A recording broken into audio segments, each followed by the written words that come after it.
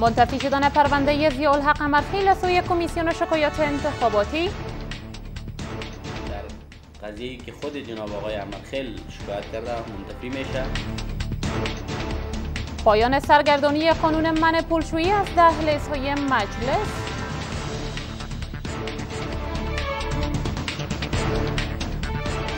و بحران جنگ در عراق وزیر خارجه امریکا را با رهبران کرد روبرو کرد.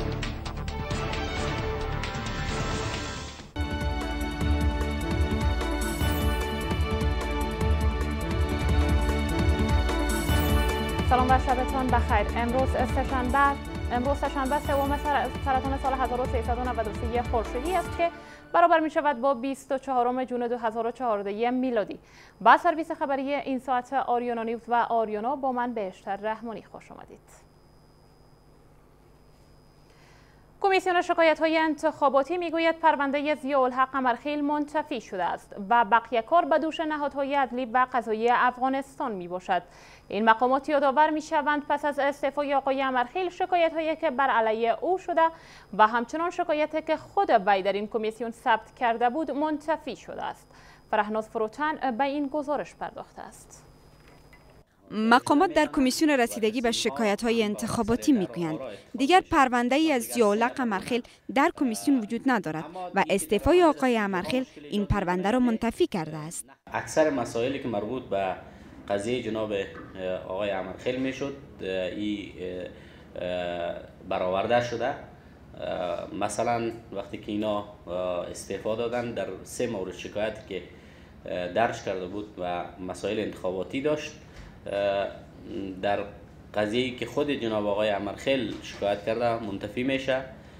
تیم اصلاحات همگرایی در شکایتی که درج کرده بود خواستار برکناری آقای امرخیل شده بود که او هم منتفی شده. در مورد برچسب های تقلبی که ستاد اصلاحات و همگرایی به آقای امرخیل می‌زند پرسیدیم. اما این کمیسیون بقیه کار را به دوش نهادهای عدلی و قضایی افغانستان میاندازد. مسائل جرمی مربوط به ادارات عدلی و قضایی میشه. محاکمه از صلاحیت کمیسیون شکایت انتخاباتی نیست. پس از استعفای ضیاء الحق امرخیل رئیس دبیرخانه کمیسیون مستقل انتخابات عبدالله عبدالله استعفای او را کافی ندانسته و خواهان محاکمه آقای امرخیل شد. کمیسیون مستقل انتخابات می‌گوید اعضای این کمیسیون روی میکانیزم کار می‌کنند تا آرای پنج ولایت کشور را که ادعای تقلب بیشتر در آنها وجود دارد بررسی کنند. سخنگوی کمیسیون مستقل انتخابات همچنان می‌گوید آرای 75 محل بر شمارش مجدد رفته و 259 محل دیگر نیز مورد تفتیش قرار می‌گیرد. حمید صدیقی با شرح بیشتر. ادعای تقلب در دور دوم انتخابات ریاست جمهوری. مسئله بود که این انتخابات را به چالش کشید و یکی از نامزدان به گونه اعتراض این روند را ترک کرد. کمیسیون مستقل انتخابات می‌گوید ولایت های نورستان غور خوست پکتیا و پکتیکا پنج ولایت که ادعای تقلب بیشتر در آن وجود دارد و برای بررسی این ولایت ها روی مکانیزم جدید کار می کنند اندېښنه و چې دا دلته زیاتو کسانو ونډه اخیستل او د دې لپاره مشخص کړنلاره جوړه شوې ده په دې باندې کار شوی ده او په دې باندې اوس هم کار روان وو کمیسیون مستقل انتخابات همچنان می‌گوید کارهای 75 محل در 17 ولایت به شمارش مجدد رفته اما کمیسیون مستقل انتخابات برگزاری مجدد انتخابات در محلاتی را که ادعای تقلب بیشتر در آنها وجود دارد بعید می‌داند. تا به حال 75 محل با شمارش مجدد رفته که در 17 ولایت است. که باید این محلات پس از سر در حضور داشت نماینده ها و ناظرین و مشاهدین شمارش شود. در حدود 259 محل دیگه است که باید تفتیش شود که در 34 ولایت افغانستان است که این روند رسما آغاز شده مسئولان در کمیسیون مستقل انتخابات می‌گویند 93 درصد جدول های نتایج شامل سیستم این کمیسیون شده و مطابق جدول زمانی نتیجه ابتدایی به تاریخ 11 سرطان اعلام خواهد شد. صدها تن از هواداران تیم اصلاحات و همگرایی در هرات بعد دلیل های گسترده در کمیسیون مستقل انتخابات دست به اعتراض زدند. معترضان با شعارهای مرگ بر تقلب کاران از نهادهای بین المللی و ناظرین خارجی انتخابات خواستند تا از حق رأیشان دفاع کند. محسن کریمی گزارش می‌دهد.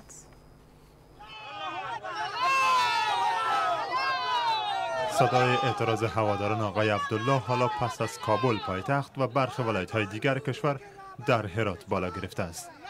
اعتراض کننده ها در این جمع می‌گویند از حق رایشان دفاع می کنند و بیشتر کمیسیون مستقل انتخابات و حکومت را از تقلب کاران اصلی در روند انتخابات می خوانند. ما واقعا حکومت واقعی می خواهیم ما حکومت به تقلب نمی خواهیم ما حکومتی می خواهیم که تمام اقوام باشه. خاطر همین رای خود جان دادیم. انگشت خود قطع کردیم و حاضر هستیم تا آخرین قطره خون خود از رای خود حمایت کنیم. از سوی هم مسئولان ترتیب دهنده این اعتراض مسلمت آمیز می‌گویند اگر روند همین گونه پیش برود و آرای سفید از سیاه جدا نشود و تقلب کاران به میز محاکمه کشانده نشوند نتایج انتخابات مورد قبول آنها نخواهد بود. مردم برای تعیین سرنوشت خود کنار هم ایستادند دست مردم در دست هم گرفته است و می‌خواهند که تا آخر خط ایستادند مردم تا آخر خط ایستادند مردم دست تقلب کار می‌گیرند. از سوی هم عبدالله عبدالله نامزد ریاست جمهوری در تماس تلفنی از اعتراض هواداران خود در هرات استقبال کرده گفت از حق رای هوادارانش دفاع خواهد کرد.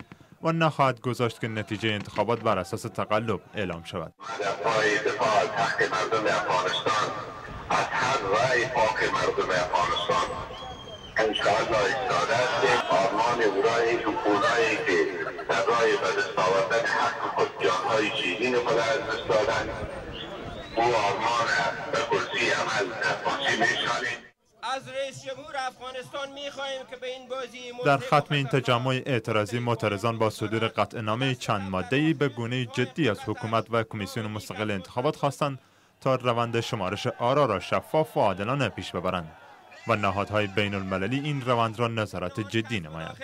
سازمان ملل متحد در پروسه انتخابات حمایت می‌کنه عبدالله عبدالله نامزد انتخابات ریاست جمهوری افغانستان در جلسه که توسط یونما هماهنگ شده بود با مقام های کمیسیون انتخابات دیدار کرد. هیئت معاونت ملل متحد در یک اعلامیه خبری گفته است که عبدالله دوشنبه شب با مقام های کمیسیون انتخابات افغانستان دیدار کرد. ملل متحد پس از آن در قضیه انتخابات افغانستان به میانجیگری شروع کرد که عبدالله کمیسیون های انتخاباتی را به تقلب متهم کرد و گفت که اعتماد خود به این نهادها را از دست داده است. یونما گفته است که این نشست زمینه تبادل نظر را فراهم نمود و در آن همه کمیشنرهای کمیسیون مستقل انتخابات افغانستان عبدالله عبدالله و مشاوران انتخاباتی شرکت داشتند یونما گفته است که به حمایتش از پروسه انتخابات به ترتیب ادامه می‌دهد که این پروسه کاملا در دست نهادهای انتخاباتی افغانستان باشد و با امانتداری و مسئولیت کامل به کارشان ادامه بدهند. نهادهای ناظر به انتخابات خواستار معرفی زود هنگام جانشین زیالحق قمرخیل رئیس پیشین دارالانشای کمیسیون مستقل انتخابات شده هشدار می‌دهند. در صورت که کمیسیون انتخابات فرد را تا روزهای آینده به عنوان جانشین آقای قمرخیل معرفی نکند نتایج انتخابات با تأخیر روبرو خواهد شد. فعاد ناصری با جزئیات بیشتر. نهادهای ناظر انتخابات از کنار رفتن زیال حق قمرخیل رئیس پیشین دبیرخانه کمیسیون مستقل انتخابات استقبال می کنند و باور این نهادها با استعفای وی تنشهای انتخاباتی در کشور کاهش یافته اما نیاز است تا کمیسیون مستقل انتخابات زود هنگام فرد را به این سمت بگمارد. و باور آنان سهلنگاری کمیسیون انتخابات برای پر کردن سمت دبیرخانه این کمیسیون اعلام نتایج انتخابات را با تأخیر روبرو خواهد ساخت. این پست بسیار پستی اساس است. امیدوار هستیم هم میارایی که تضمین کنه توانایی لازم مدیریتی را در, در مرحله بعدی پروسه برای کمیسیون انتخابات و همچنان رضایت طرفین یعنی یک مسئله یک چیری بیطرف که برای تمام جوانب قابل قبول باشه و, و ادعاها علیش وجود نداشته باشه هر نوع تغییر بدون شک در داخل کمیسیون چی در افراد و چی در کارها میدانه پروسه طولانی بسازه و به یک نحو اعلان نتایج انتخابات به تاخیر بندازه. اما کمیسیون مستقل انتخابات می‌گوید در کوتاه مدت برای معرفی جانشین آقای امرخیل هیچ تصمیمی روی دست نبوده و کنار رفتن وی نمی‌تواند کارهای آنان را با کندی روبرو سازد. یک کس غیر حاضر میشه و یا هم روند ترک می‌کنه. بالای خود روند زیاد فشار نمیاد چون سیستم کار خود پیش می‌بره و مشخص است که چگونه باید امورات پیش بره.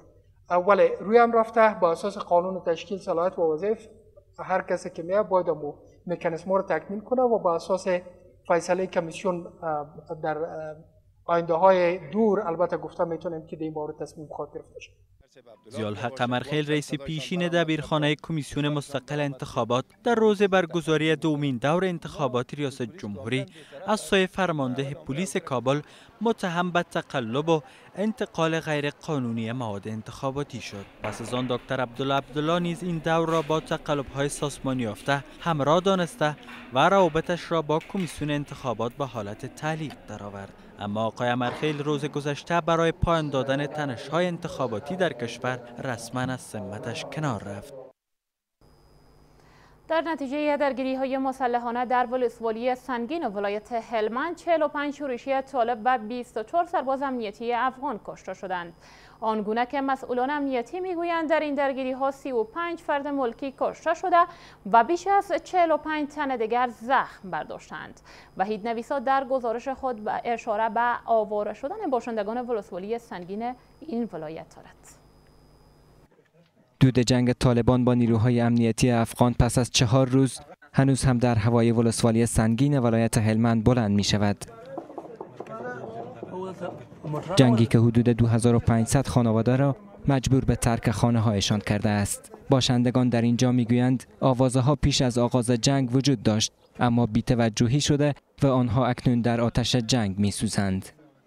در روزمره پروش کالم دا وقت از مشخلق پس و مرس ولاده ماشومان مده اوس برابرین زر کوره پیرا سوي دي په دښتو کې پراته دي په دغه لمر باندې د وسره کړیل ته دغه کی کچیر جناب وزیر صاحب زما خبره واوره حساب دولت کچیر دا تلویزیون تاسو ګوري کستا زوی نن په هغه وځا کې بمبار سي خلک پر هغه باندې بمبار وکړي ستا زوی طالب راو باسي اعلان کې ستا احساس بڅنګ اطلاعاتی که اداره محلی هلمند ارائه می دهد حاکی از بیشتر شدن 100 کشته از دو طرف درگیر است. تماسونه چې ونیولې دي د ملکی کسانو لپاره د دوی د عاجلې مرستې لپاره او دوی ته د عاجلې مرستې رسونې لپاره موږ مرکز نه مرسته غوښتې ترڅو هغه مرسته ورته راورسیږي او موږ یې زر تر زر در این جنگ بیشتر از همه افراد ملکی آسیب دیدند. کسانی که نقشی در جنگ ندارند از حکومت خواهان آوردن آرامش در محل بود و باششان هستند. اما این برای طالبان پایان جنگ نیست و گفتند در دیگر جاها هم دست به کار می شوند. بحران جنگ در عراق وزیر خارجه امریکا را با رهبران کرد روبرو کرد. این خبر و بقیه خبرهای خارجی را که به همکاری رادیو آزادی تهیه شده است پس از وقفه کوتاه دنبال کنید.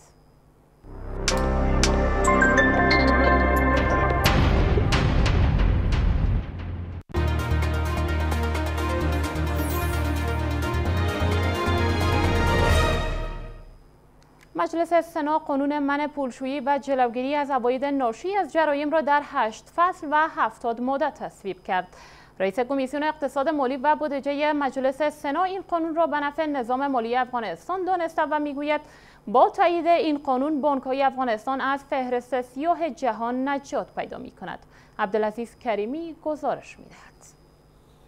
قانون من پولشویی بعد از تصویب مجلس نمایندگان به مجلس سنا جهت تایید فرستاده شد. مجلس سنا بنا به منافع ملی و نظام مالی کشور این قانون را با میارهای جهانی در هشت فصل و هفتاد ماده تایید کرد. کمیسیون کردن تایید است شمار از اعضای سنا می‌گویند که این قانون در مبارزه با فساد اداری نهایت مهم است. آنان یادآور شدند که در قانون موارد دیده نمی شود که در تضاد با مسائل اسلامی باشد. اما در شمار موارد مشکلات دیده می شود که در آینده با تعدیلات در قانون حل خواهد شد. افغانستان در برابر جامعه بین تعهد کرده و تعهد کرده که ما با فساد مبارزه می‌کنیم. و اینمی قانون پولشویی یا جلوگیری از تطهیر پول یکی از موارد مبارزه با فساد اداری است. چیزی را مخالف دین اسلام صراحتا نیافتیم اما بعضی موضوعی هست که باید دقت شود یعنی احتمال میره که بعضی جایش قابل تعدیل باشه. این قانون قبلا از سوی حکومت در 8 فصل و 45 ماده به شورای ملی جهت تصویب فرستاده شده بود. شمار از تاجران از حکومت می خواهند که این قانون را به زودترین فرصت توشیح کند تا داد و ستاد آنان با بانک های جهانی با مشکل روبرو نشود. بسیار مشکلات دامنگیر ما شده در این عرصه. امید است که هرچی عاجل قانون پاس شود و تمام مشکلات هایی که در این زمینه ایجاد شده تمام تاجر ملی که این مشکلات داره این مشکلاتشان مرفوع گردد. قانون من پولشویی بعد از تصویب شورای ملی جهت توشیه بر رئیس جمهور فرستاده می شود دست کم چهل شرکت وامدار در ولایت هرات به محکمه معرفی شد ولی هرات می‌گوید این شرکت ها از زمان طولانی است که قرضدار دولتند اما از پرداخت پول ابا میبرزند ده روز پیش بود که سید فضل الله وحیدی والی هرات از اینکه برخی از شرکت های تجارتی از دولت پول گرفتند و پس ندادند ابراز نگرانی کرد. او گفت که به زودی این شرکت ها را به دادگاه معرفی خواهد کرد. اکنون آقای وحیدی به این وعده خود عمل کرده است. پرونده های نزدیک به چهل شرکت تجارتی که گفته می شود شرکت های نفتی هستند به دادگاه فرستاده شده است. والی هرات می‌گوید سالها پیش این شرکت ها از دولت پول وام گرفتند و اکنون نمی‌خواهند پس دهند. او افزود در جلسه اداری فیصله شده تا کار این شرکت ها به حالت تعلیق درآید. والی هرات پافشاری می کند که اگر این افراد پول خود را نپردازند اموالشان ضبط دولت خواهد شد. او گفت این شرکت ها از پول دولت سوء استفاده کردند. تا که قرضداری خود نبپردازه اینا دیگه فعالیت کردن نمی‌تونن و دهی با ادارات مربوطه ما خبر میته میره و همچنان امی موضوع قرضداریشان با محاکم هرات سپردیم در همین حال انجمن مواد نفتی در هرات اعلام کرده که شرکت هایی که همکنون در حال فعالیتند وامدار دولت نیستند. نوید احمد وفا رئیس این انجمن می‌گوید تا جایی که ما آگاهی داریم این شرکت ها اکنون فعالیت ندارند. تقریبا از 9 سال و 8 سال قبل چند شرکت معدودی اینا هستند که اینا از ریاست مواد نفت یک مقدار پولی گرفته بودن به خاطر از اینکه مواد سوختی برای مواد نفت برسونن و یا نتونستن که مواد برسونن مقلوزیت دارن که ما هم در جریانیم و اونا از شرکت های فعال وارد کننده مواد نفتی نیستن این برای نخستین بار است که مقام های محلی هرات از چنین فسادی پرده برمیدارند پیش از این این باره را والی هرات حتی بزرگتر از زمین خاری دانسته بود و گفته بود که باید نخست به پرونده های این شرکت ها رسیدگی شود. اکنون توجه کنید به نرخ اسعار خارجی در برابر پول افغانی. یک دلار امریکایی 57 افغانی و 75 پول، یک یورو 78 افغانی و 40 پول، یک پوند انگلیسی 97 افغانی و 20 پول، یک درهم امارات 15 افغانی و 60 پول، هزار تومان ایرانی 18 افغانی و هزار کلدار پاکستانی 576 افغانی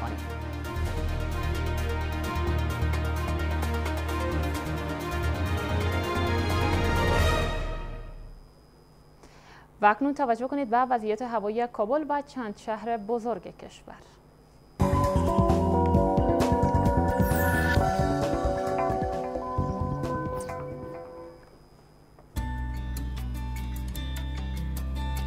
کابل آفتابی بلندترین درجه حرارت 33 پایین‌ترین 16 هرات آفتابی بلندترین درجه حرارت 37 پایین‌ترین 22 مزار شریف آفتابی بلندترین درجه حرارت 41 پایین‌ترین 26 جلال آباد آفتابی بلندترین درجه حرارت 43 پایین‌ترین 28 کندهار آفتابی بلندترین درجه حرارت 41 پایین‌ترین 23 و سرانجام شهر غزنی آفتابی بلندترین درجه حرارت 33 و پایین‌ترین 16